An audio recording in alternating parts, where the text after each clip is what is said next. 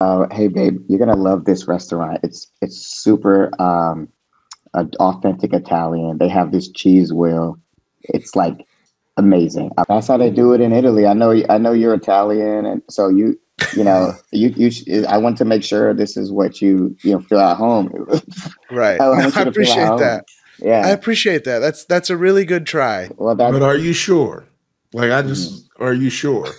I Do did you not want to? see. Do you want to join our table, sir? You could join our table.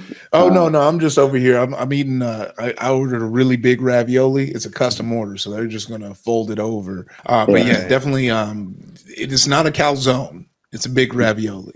Just Okay. just to clarify. Yeah, I ciao, mean- ciao, ciao. Oh, l'uomo. Oh, shit, you see that, ciao, bella ragazza. Oh, perché bella. shit. Authentic No, this guy's like a bad Italian stereotype. Okay, you insult me to my face. But, sir, I'm so Oh my excited to be here. What? Uh, oh, he just spit on my girl. You just spit on her.